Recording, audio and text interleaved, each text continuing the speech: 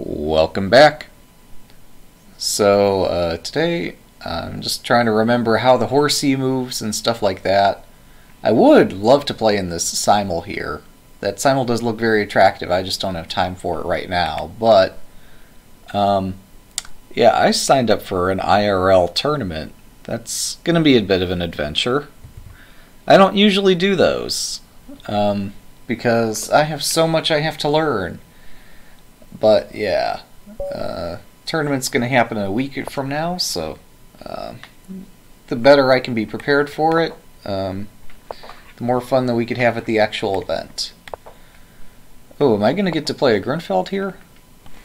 Yeah, let's do it. This is not how I usually play, um, but since we're playing Blitz, we're going to try this out. And this would be just a good refresher. I think it's, yeah, that's the most popular line here. Um, and I'm trying to remember if I play c5 straight away. Okay, but here, isn't it knight d7, or am I conflating or confusing that with some other line? Um, I think knight d7's fine. I sense my opponent's just playing impulsively and is not really thinking about their moves. Um, so that said, I think I can actually take here. Much unlike most of the Grunfeld lines, I think this is an exception to the rule. Um, this will fix my space deficit. Um, right. So I think either that or knight takes was forced because of their weird move order they took here. Um, made sure to play that straight away so that, uh, well, here I continue my development. Oh shit. I'm an idiot. this is not good, folks. Uh, this is seriously not good. Wow. Okay. Um. Hmm. Let's try this. This is not going to work. This is so not going to work. Holy moly. I'd like to blame my lack of sleep for this one. Um, but this is pretty outrageous. Oh my goodness. Alright, that's what I get for playing a Grunfeld and not knowing the theory. Moral of the story uh, for the upcoming tournament don't play the Grunfeld. Play the King's Indian. I have a pretty good record with it. I should stick with what I know. Alright, we'll just develop the pieces. You know, we're down four points. It's only four. Nah, so we sacked apparently for emotional compensation, which is pretty great. Um. Okay. Here's the cheapo. It doesn't even work. Or does it? I don't know. Yeah. I'm not getting away with that cheapo. Um, here, let's go for another one. Let's just pry this open straight away. oh, I see. Yeah, screw this. Well played. You got me. Ouch. I don't know. There was something weird about that move order. Um, so let's play this. I think this is a closed Sicilian. I don't know the close Sicilian either, so why am I playing this? I don't know. It's fun, I guess. Um, I think I did this okay. And now I think I'm supposed to let these run, but maybe A4 is also fine. Um, I think A4 somehow just helps him. Alright, let's push this, because this seems fun.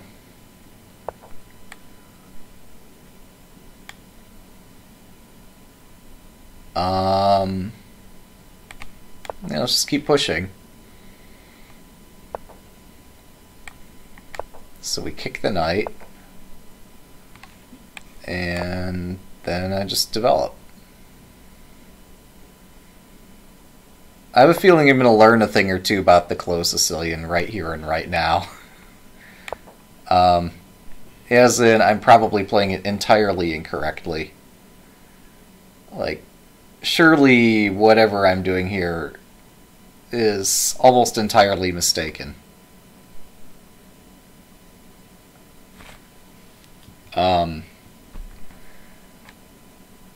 so, oh, he actually did retreat.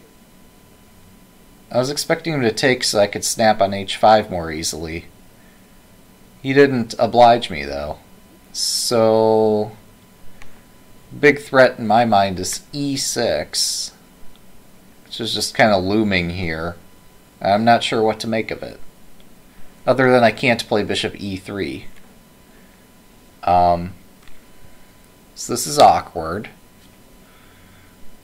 If he plays e6, I'll have to retreat, but then he... Eh, why don't I retreat prophylactically? And this way, yes, he can play e6 and d5, but it's going to take him some time to do it. But what else is he going to do? Um, whereas my knight might have a home on h6, I don't really know. Oh, also I hung the f-pawn. So probably he should have just taken that. Uh, let's transfer the knight and like not hang this. Um, okay, we're blaming the lack of sleep at this point. There's no other excuse.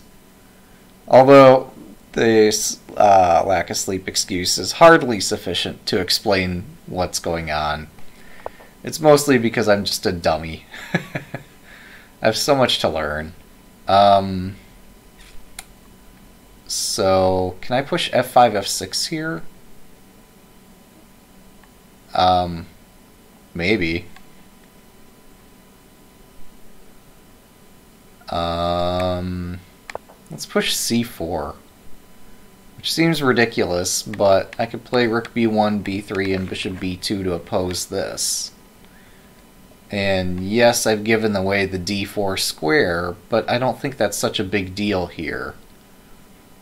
Um, I think d5 is more valuable than d4 here. Okay, now that's just weird. Um, I kind of get the motivation. Um, okay, well, let's activate the rook. Why not?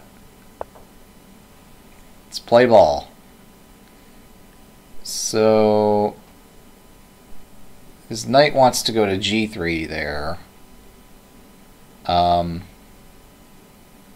I just want to make sure not to walk into a fork. It's like the only thing I need to look out for are all the knight forks. Um, Oh, well this is interesting, isn't it? This allows my rook to go to d1 to oppose that. And suddenly I'm no longer considering f5 because it, it just isn't interesting anymore. Much more interesting is just taking the center. Um, so if I just had a tempo to play bishop e3, that'd be good. I'm not getting that tempo, am I? We'll fight for it. We'll see if I can finally. I expect he's going to check me because like that's a good developing move. This is not a good developing move. Um, because it doesn't develop a piece. Um.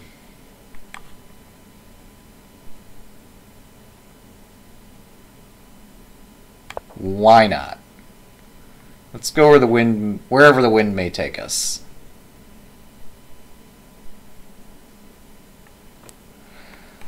I'm still interested in this f5 square, so I'm going to play rook c1 instead of queen c1. I have this covered by the queen, so I'm not too concerned. If need be, I could tuck my king in on g3. Um, okay. Well, this just keeps getting weirder and weirder. I finally see the point of what he's doing, and that's okay. He wins some material. I probably win a king here, so looks like a wash. Um, also, I'm in time pressure, which is going to make this more fun for everybody. So I want to go up to c3 and then rook h1. Or maybe I go to b2 and rook h1, I don't know. Somehow I need to get my rook over here. Um, how about d2? I'm being super indecisive, which is not helpful. Um, let's guess this square.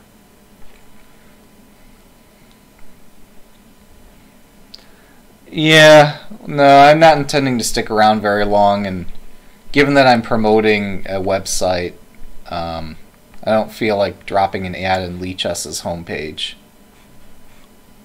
Uh, I could add it, but I'm not going to be sticking around very long this morning. Um, okay, there is an increment. I didn't forget to add an increment here. Um,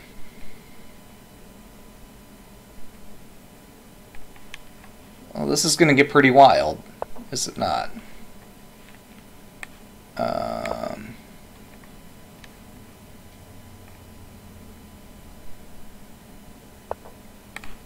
take my rook. Please take my rook. Oh, he didn't take the rook. Alright, well, rip me. uh, oh, nice. Well spotted. Um, so yes, yeah, something happened that game. A lot of things happened that game. My opponent wants another rematch, so I'm not going to get a chance to analyze this. Oh, um, yeah, I live in Illinois. Oh boy, here we are, another Grunfeld. Maybe this one I won't mess up as badly.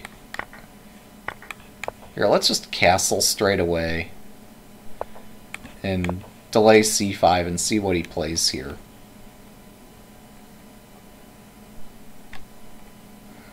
Yeah, Illinois' got a pretty competitive chess scene. Usually I throw in c5 because that's the book move, but here we're doing something other than the book. So, um,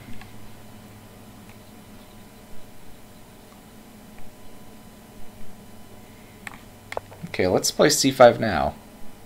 Yeah. Uh, and then like queen c7 or something. I don't remember all the book, but I think this is pretty close. Right. Um, and let's see, how does this go from here? Um, so he plays knight to e2 because uh, this way I don't get to pin the knight. But I think black gets a freer hand in the center because this knight's not threatening to jump into e5 or g5. Um,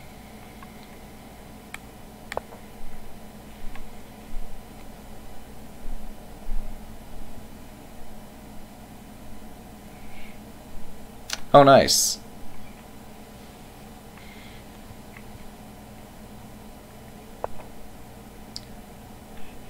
Okay, so we oppose this diagonal here, and he plays a4, which I think makes sense. We're going to have to look this one up afterward and see just how well I did. Um, um, I didn't expect him to take that.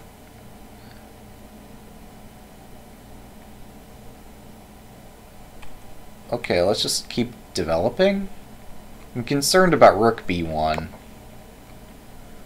But I have this awesome knight e5 or knight a5 stuff. Oh. Is this a thing? I don't remember queen b6 being a thing in this opening. Um, so I'm hitting this and hitting that. Now granted, if I take a4, he just uh, shish kebabs my pieces. Well, except now his bishop's on a2, so this is a, this is just a free pawn. Um, so black is equalized.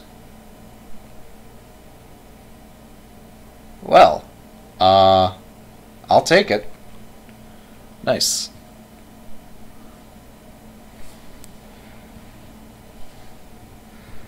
So apparently I did okay here, but I still think, um, in terms of tournament play, I should just stick with the King's Indian, because I've got a positive track record with that. Um... Alright. Wait. Do I have a tic-tac? No, rook d2 is not a tic-tac. Or a tactic, depending on your regional dialect. Um, here, let's just put this on a square. I like how Ace Rook calls those tic tacs, though. It's much more fun than tactics. Um, so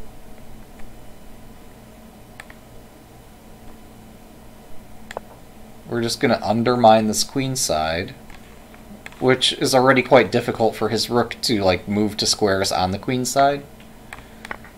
So if I start attacking on this side of the board, something's going to come loose. Or so I hope. Um, knight d4 is what crossed my mind a couple moves ago. Um, yeah, knight d4 is not bad. Let's do it. I still feel like I should have better than that somewhere here, but I just don't see it. Alright, so now um, we're going to pile up on whatever pawn is the easiest to target, but also threaten to push the A pawn. And if I have to, I can push E5, but I shouldn't have to just yet.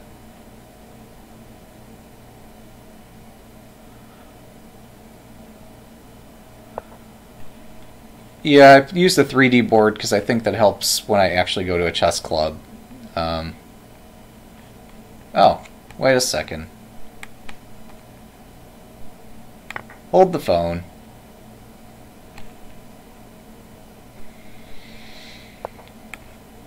Boop. Alright, so I'm just up a clean pawn. I can convert this.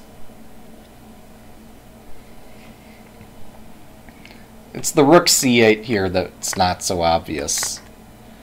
Like, if we had traded and he gotten to play pawn to b7, that's less clear than what we're talking about here.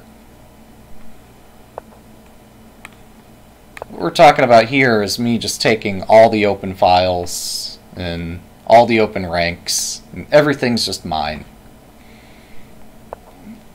Um, there's a check. Right. So just need to be patient. And if necessary, I could push the A pawn to decoy his rooks, but this should not be hard. Even with 29 seconds, this should be pretty not difficult. So he intends to double the rooks on the D file. I immediately stop that doubling and just go back, and I've got the C file under control and all the key squares on my side of the board. So next step is just to pick up the pawn. Which he's going to play rook b1 to stop. And the question is, do I play uh, rook b5 to collect... Uh, yeah, I think I do. only because he pushed e5, which gave me the tempo to get this in, uh, forking the rook and the pawn. And if I'm up two pawns, this gets even easier. So, yeah, he's got, well, he didn't have any choice, really.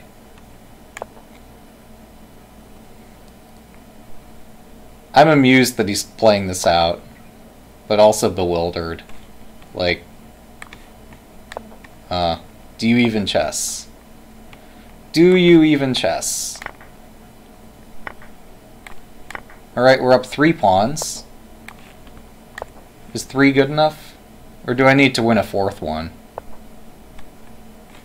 Right, you're in check, buddy. Okay.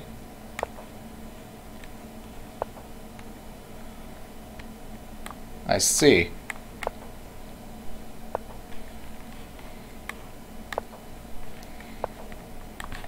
So you've gone all in on trying to collect this F-pawn there.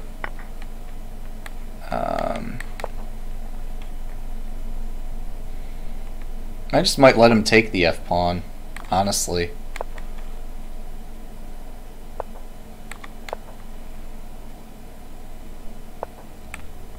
Dude, why are you playing this out? What the heck? Are you serious? Okay. I know I played some bad moves in the last... Wow. And he just leaves. He doesn't even want a rematch. Uh, well? Good games, I guess? I know I played some bad moves, but... Like, give me some credit. That's pretty funny. Here, let's analyze the game for posterity's sake. Um, no, but most I'm most curious about this opening and what happened here. Uh, so these are cached engine evaluations saying this is even-ish.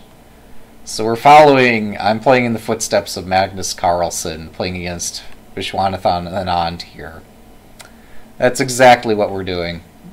Um, so castle, c5, queen c7, Alright, so what do I do here? Knight c6 is the most popular master move.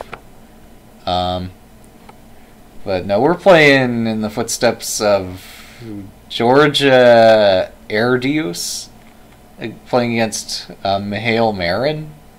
Alright, so that's the game that we're following, I guess. But we detoured from it. Um, yeah, I don't know what to make of this opening. I think I so rook d8 seems like a lost tempo. I should have just played like knight c6 apparently. Or at least that's the most popular move, and that transposes back into the book. Where after rook d8's a lot more popular. Um, and I guess a6 is a squandered tempo as well, which accounts for my failure to get back into book. Queen b3 is nowhere on this list. Um, Whereas after I played rook d8 and a6, then queen b3 I guess was possible. Because a6 is like not a very good move. Um, yeah, apparently I don't decide what to do with this bishop c8 and rook a8 until later in this line. Um, yeah, no, that's correct. Yeah. Uh, that Carlsen and Anand, both being world champions, are kind of at the level of Federer and uh, Nadal. So uh, yeah, that's clearly what we were doing in this casual blitz game here, is just following in the footsteps of the world's greatest players. Um, oh, that's right, I remember. So the point of like point of like doing this move ordering stuff uh, is that even in lines where sometimes white gets to play this, um, you like sack the f pawn, and then whoops, no, the queen can't move there. That's the point. So this like instantly equalizes. Right. Uh, so yeah, white just has to guard the bishop, and then that's just pleasant for black. So that's how that normally goes. Um, apparently, we detoured pretty heavily from book. Um, oh, so when it completely shocked me that he took here, um, I guess I'm right to be shocked? I mean, no human's going to play bishop d3, but it makes sense here to get out of the way of this, like, potential discovery or this potential fork um, and this just prepares, I don't know, to play f4 and d5 and whatever else white wants to play in the center.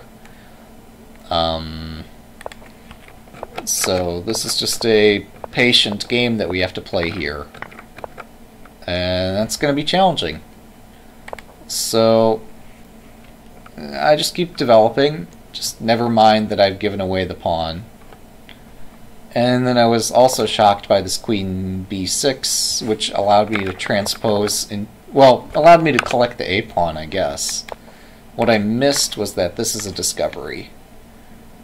Um, so yeah, this queen b6 just gives the pawn back immediately and gives uh, black all the compensation in the world.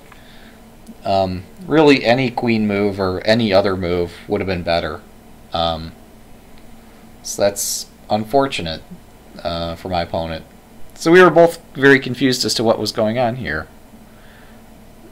Uh, yeah, we could go back and take a look at how Carlsen played this stuff. Where was that? Here we are. Anand Carlsen, 2011. Um, so here's their game, where, yeah, this is the main move, c5, queen d2. There are a couple captures already. Um, yeah, they just develop their pieces, you know? Each move has a purpose. It's kind of unlike some of my play, where I just play moves and then try to figure out the purpose later. Yep, and they just kept trading pieces, and um, uh, when do they trade more pieces here? Is this the one where they played down to like Bare Kings or something? I forget. No, this is okay. Yeah, super exciting game. Not really, but um, so that's how they played it. Let's go back a game.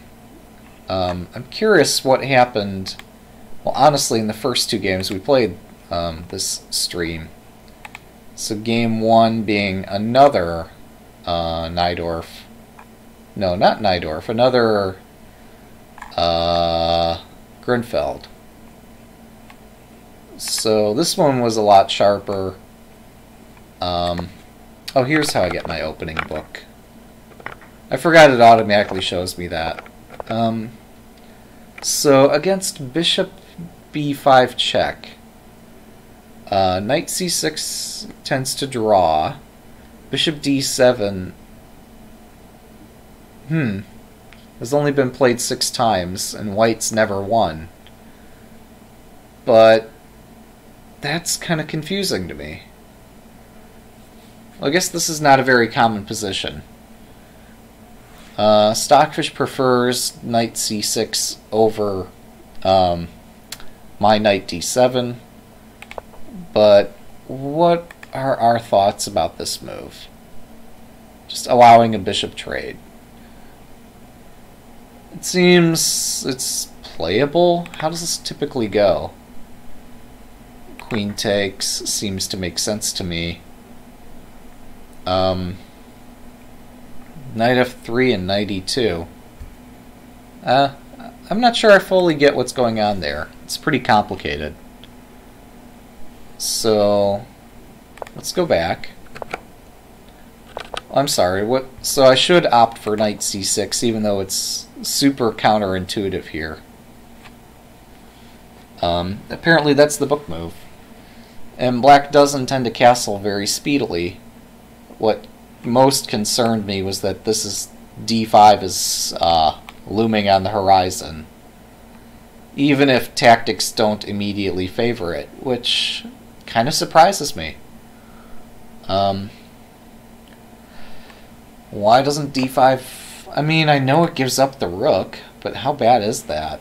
It seems like that's an exchange sacrifice for white would be eager to make. Um, oh. Black doesn't take the rook. Wait, so rook b1, and then we go back. And so why did white play rook b1 here? Why not just snap this? Um, I guess it's six one way, half dozen the other way, but white's not better here.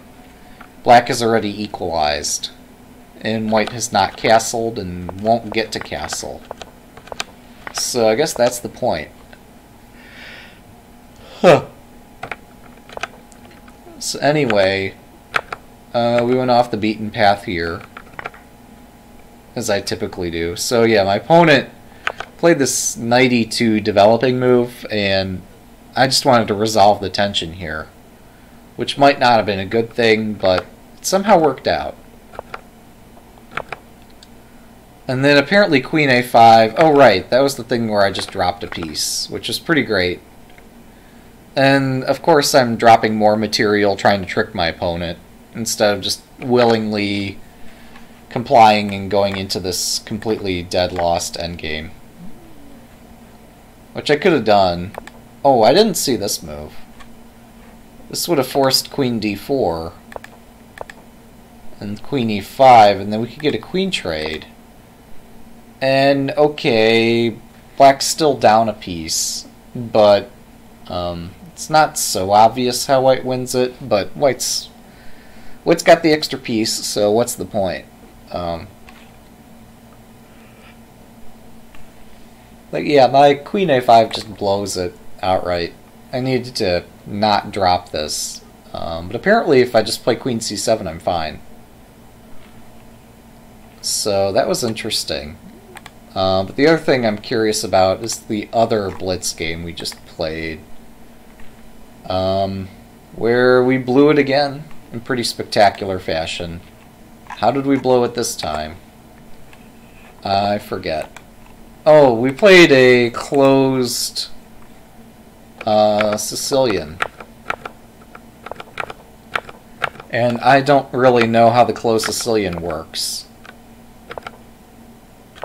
Okay, so h3 is fine. g4 is fine. Knight e2 is the typical move here. I see. So instead of trying to force my way through d5, which ended up being a major headache, Turns out there's a much more elegant solution for transferring your pieces to the king's side.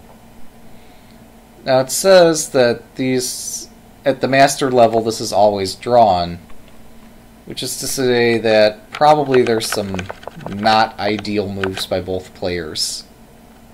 Um, but I wonder what.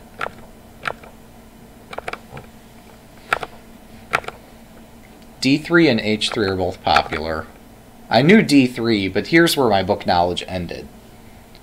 So apparently H3 is the most popular move, and I guess the system just seldom gets played at master level, or we just don't have many games of it in the database. Um,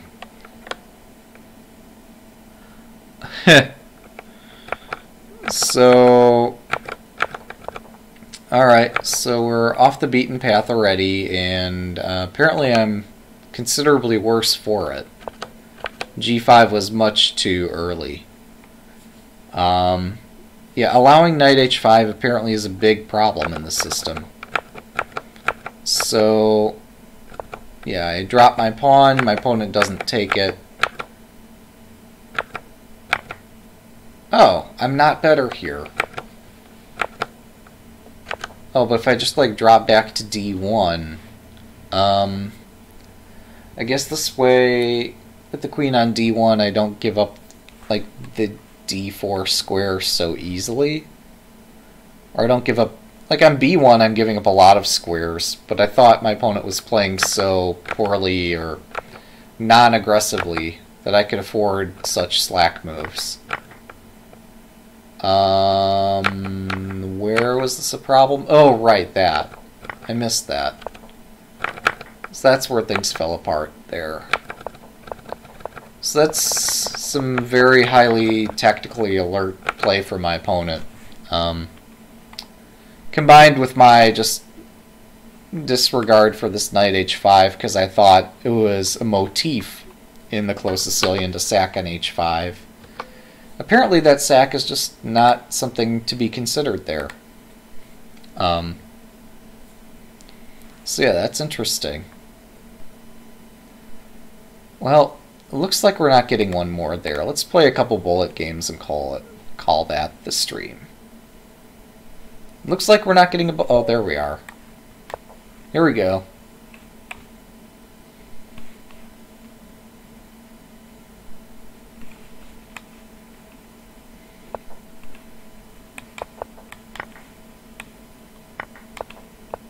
Yeah, get it. It's fun to play this stuff, this uh, Queen E2 French. Um, let's see. Have I misplayed this yet? Oh, maybe I taking on c6 was not so bright. I don't know. Either way, this is like way more fun than your typical French. Um, um, okay, fine. Oops, I dropped d4. Didn't need it. Didn't want it. Alright, so we'll go back.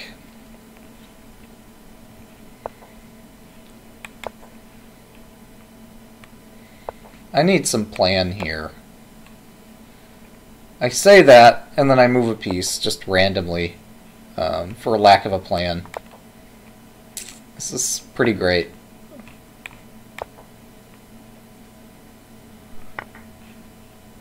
Oh, yeah, I guess I missed that. Okay, we'll develop here, I guess. Um... This is not going well. Everything is hanging. Oops, there's my queen. Okay. Not bad, not bad. How did I get a 2,000 bullet rating? Okay, if my opponent doesn't want a rematch, that's totally fine. Okay, so what went wrong other than being out of book on move 3? Uh, d4 was probably too much. Or at least I should learn how to play it. I thought knight e5 was just winning, but it isn't. Um, so because it's not winning on the spot, there's really no reason to play it. Um, unless, like, I can get away with bishop f4. Oh wait, no, he's got knight d5 and all this stuff. So how does this go? Knight takes, knight takes, bishop takes, rook b8, castle, should b7, takes, takes. So I did this, everything according to exactly what the engine would have done. But then I had to realize that my targets are on the queen side and keep moving there. And I just didn't realize that. Who'd have known you could play positional games in Bullet? Who'd have thunk it? 12, 11, 10, 9. Well, I guess we'll play this. This is going to be the last one. Or if he doesn't move, then we'll play a different one. But um, we're going to try to wrap this up at some point.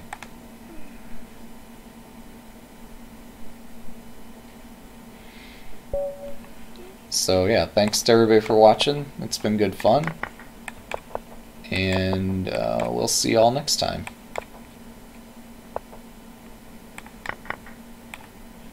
Nope. Just kidding there. Alright.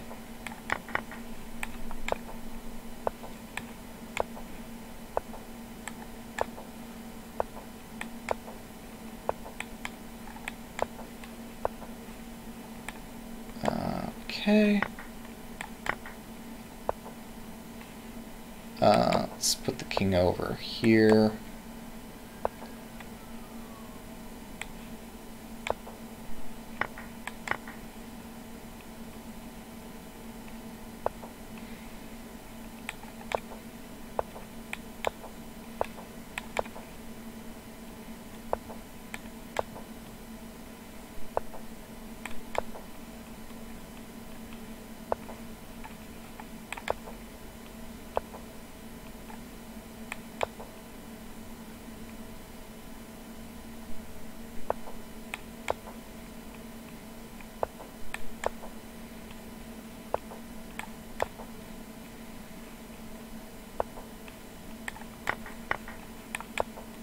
Isn't this exciting? Look at this exciting position. And all its exciting excitingness.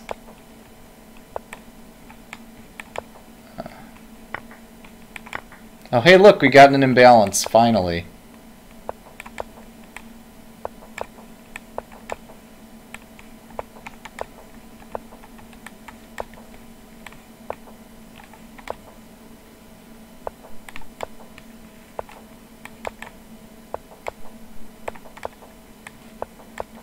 Oops, I screwed up.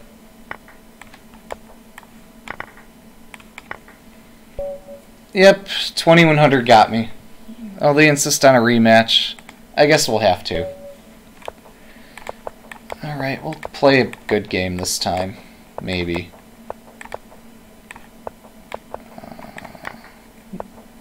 I did not intentionally trap that. Um, I was just trying to play a good game, but... Um,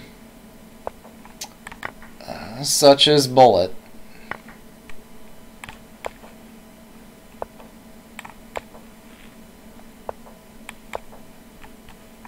Of course they're going to ask for a rematch because of the way that played out. Um, and of course I'll have to accept it, because I have some degree of honor. Um,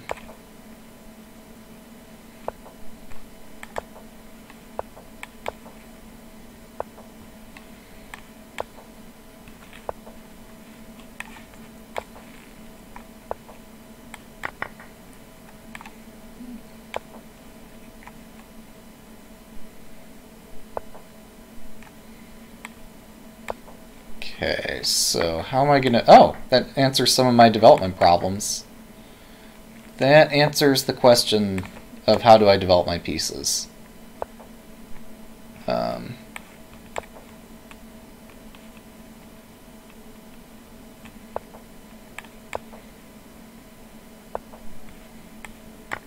some of these moves he's making are a little bit predictable, so that makes it easier for me to retort with my replies immediately. Um,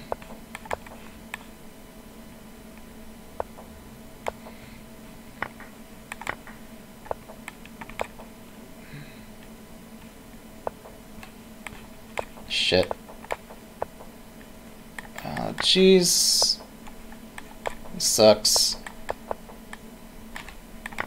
Uh,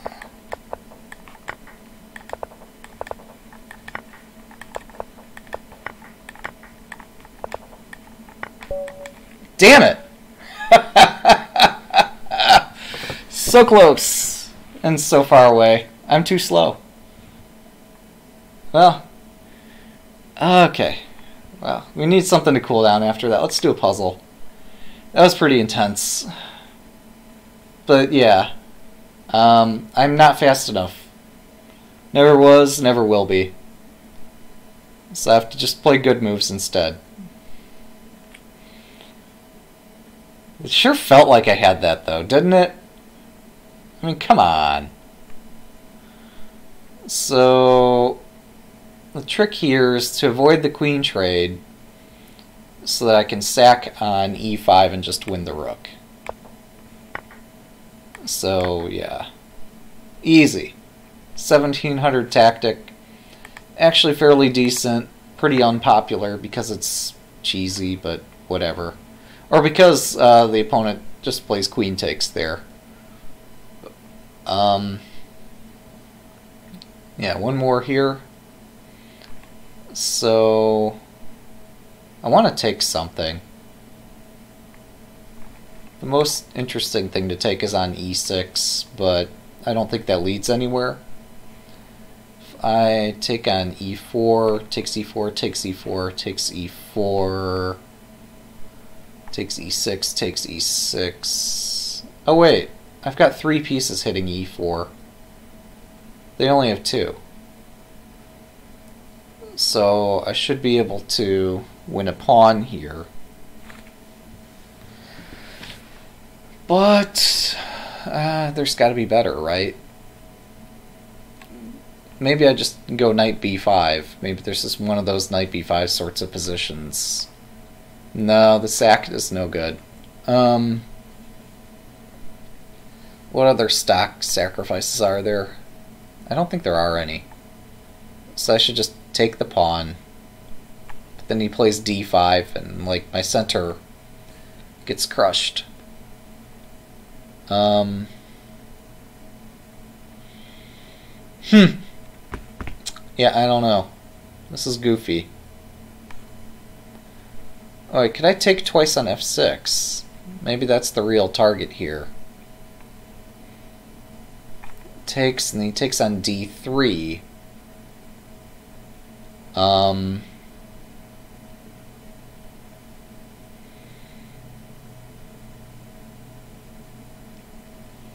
So what after he takes on d3? Or do I take e6, pawn takes, and I sack on f6? He takes back, I take bishop g7. I've given away all my attackers. Yeah, that's no good. Um, I'm just trying to figure, is there some permutation of these moves that sack on e6 and f6 that nets me material? Uh, Rook takes f6, pawn takes d3. Rook takes f7? Knight takes f knight takes e6, something like that? I don't know. Um, right. So this move doesn't put up much resistance. You just, like, take right here. And then you take the rook. Um, far more interesting, and I'm downloading this because I think everything else Black could have done here is more interesting. Um, is what if Black just keeps the tension in the position here? I guess he's down material. You have to move your bishop somewhere, like here, I guess. Or maybe you sack on e6 and try to collect the rook. Um, how do you play this? Oh, everything's good, apparently. I need... I know he hasn't, like, collected on... Oh, e4 is hanging. Duh. Alright, so...